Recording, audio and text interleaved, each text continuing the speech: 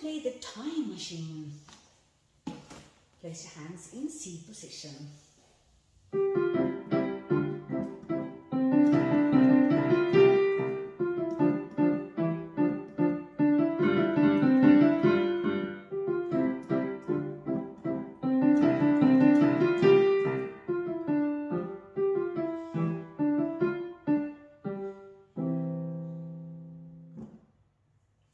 It's a lot of them moving around in this song.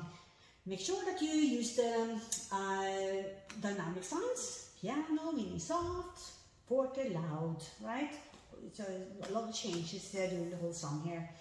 Another thing too is um, it's changing from C position and then up down an octave to um, low C and then up here, F and G and down to G and back to C, down to low C again.